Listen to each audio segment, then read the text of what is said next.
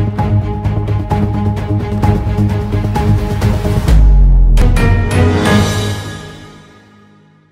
អ្នកអុកញ៉ាបណ្ឌិតត្រីភិបទីប្រឹក្សាផ្ទាល់សំដេចតេជោហ៊ុនសែនប្រធានគណៈបកប្រជាជនកម្ពុជា និងជាអនុប្រធានទី2ក្រុមការងារគណៈបកចោះជួយមូលដ្ឋានស្រុកកណ្ដាលស្ទឹងបានលើកឡើងថា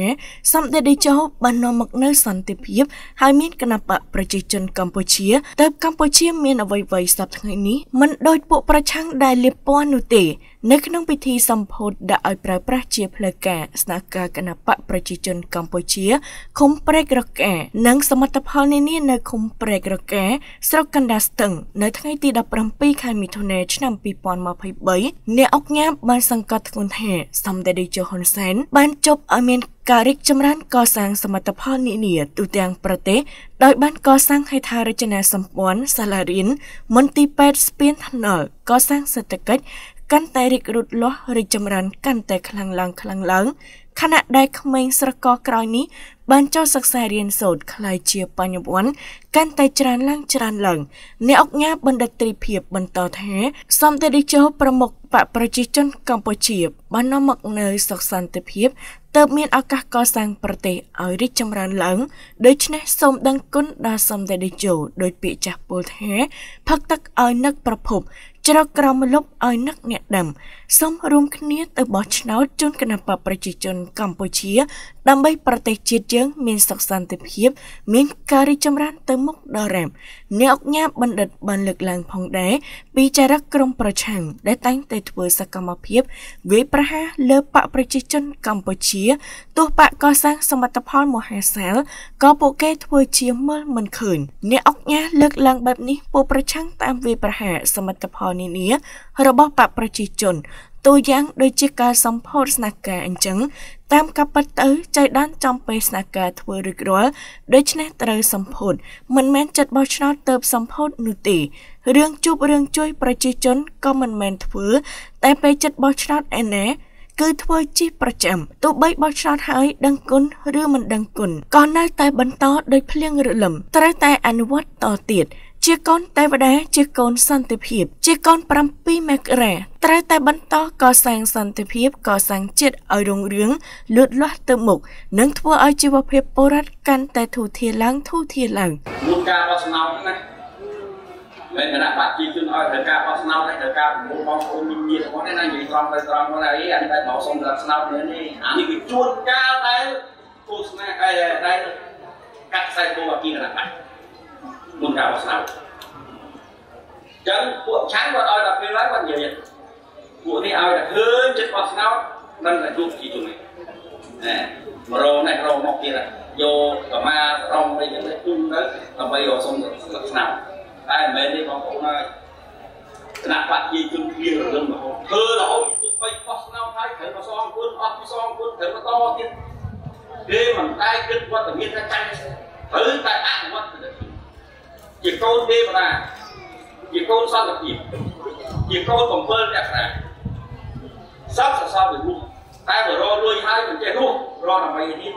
ហើយបើសិនណារលួយហើយបន្តសាងសន្តិភាពរដើម្បីនេះអានេះមិនចង់និយាយទេ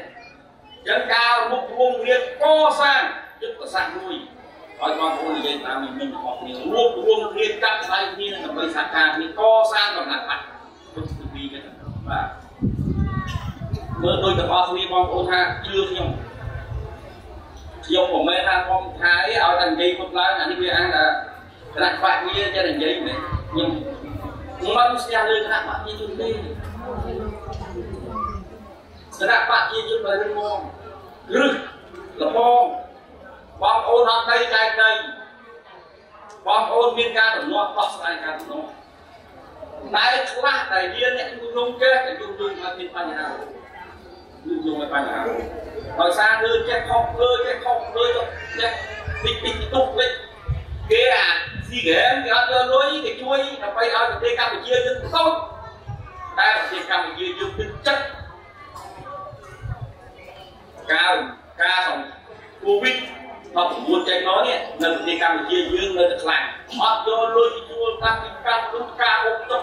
សំដាច់បាត់យើងពេកឲ្យខុសហើយជួលតែដល់ទៅទៀត មិនមែនសម្រាប់តែហ្នឹងតែជាជនយើងថាការជាជនខ្មែរយើងមានមកប៉ុណ្ណឹងជួយគេប៉ុណ្ណឹងហើយដល់ពួកអខាងយើងមិននិយាយចឹងអីថាខ្មែរក្រមមិនខ្មែរក្រមហើយមកសិតវិឡាសិតតាផ្ទះមើលទៅពេញមើលឥឡូវគឺលប់លុបដូរគុំឥឡូវទៅសាក់មើលគឺផ្លាស់អស់ហើយក្រមកជិះស្ងប់ក្រមកជិះឥឡូវទៅគាត់ឯងវាការហត់ទៅមករៀប100ហើយនៅស្រុកយើងវិញលើមកមករៀប70 50ហើយក្រមកទៀតខ្លាំងមិន ដីដីឡានខ្មែរឥឡូវប្រជាជនតាមស្រួលជីឡានលើទាំងស្រួលទាំងនឹងមានឡាន2ឡាន3ទៀតហើយនៅតែក្រនឹងក្រម៉ែស្រុកតាយវាយាខ្ញុំនិយាយខ្លាំងហើយគេកសាងគេអត់មកធ្វើហើយយើងនៅតែក្រចឹងបានថានេះគឺសម្រាប់ដែរខ្ញុំនិយាយសូមតែមួយទេសូមតែមួយគាត់ថាលើកមក បោះស្នោគឺគណៈដាក់ជាជនហើយបោះស្នោឲ្យគ្រប់គ្នាម្ដងទៀតបាទ ជាមួយនឹងសមិទ្ធផលនេះដែរប្រជាពលរដ្ឋរស់នៅស្រុកកណ្ដាលស្ទឹង បានសម្ដែងការត្រេកអរនិងដឹងគុណសន្តិភាព ដឹងគុណគណបកប្រជាជនកម្ពុជា ដែលខិតខំកសាងប្រទេសជាតិពីបាត់ដែនទទេរហូតដល់មានការអភិវឌ្ឍរីកចម្រើនឡើងហើយបដិញ្ញាបោះឆ្នោតជូនគណបកប្រជាជនកម្ពុជានៅពេលឆាប់ឆាប់ខាងមុខនេះភូមិឃុំខ្ញុំរីកចម្រើនច្រើនក៏សម្ដេចបានជួយកសាងច្រើន តាំងពីផ្លូវតាំងពីសាលារៀនតាំងពីទីស្នាក់ការប៉ុស្តិ៍មន្ទីរពេទ្យវត្តអារាមនាងខ្ញុំសូមបដិញ្ញាបោះឆ្នោតជូនឲ្យគណៈបកប្រជាជនកម្ពុជាដើម្បីឲ្យស្រុកឲ្យសន្តិភាពនិងរីកចម្រើនកាន់តែរីកលូតលាស់ទៅមុខបន្តទៅទៀតតាំងពីមានសម្ដេចតេជោមកឃុំព្រះការរបស់ អឺខ្ញុំរីកចម្រើនខ្លាំងមែនតែនមិនដែលមានអឺតាំងពីខ្ញុំនៅពីអាយុ18មកទល់នឹងអាយុ54នេះអូនអត់ដែលមានអឺភាពដឹកនាំសវោសបាយដូចនេះមានតែជួបការលំបាកអញ្ចឹងណាតែឥឡូវមានសម្ដេចតេជោហ៊ុនសែនមកនេះ ភូមិព្រះរកាយើងខ្ញុំនេះសបោសបាយមែនទែនក្នុងនាមជាខ្លួនខ្ញុំម្នាក់និងកូនចៅក្រុមគ្រួសារខ្ញុំអ្នកស្រុកអ្នកភូមិទាំងអស់នេះនៅពង្រឹងខំបោះឆ្នោតជូនគណៈបកប្រជាជនកម្ពុជានៅនាមជាខ្ញុំជាយុវជនម្នាក់ខ្ញុំឃើញថាការអភិវឌ្ឍនៅក្នុងភូមិឃុំស្រុកនៅក្នុងមានការរីកចម្រើនខ្លាំងបាទបាទ僕ខ្ញុំពេញចិត្ត ក្នុងនាមខ្ញុំជាយុវជនម្នាក់ខ្ញុំបដញ្ញាបោះឆ្នោតជូនគណៈបកប្រជាជនកម្ពុជាដើម្បីប្រទេសជាតិមានការភាពការរីកចម្រើននិងសន្តិភាពគ្រប់វិស័យកម្មវិធីនេះឧបត្ថម្ភដោយ EasyCom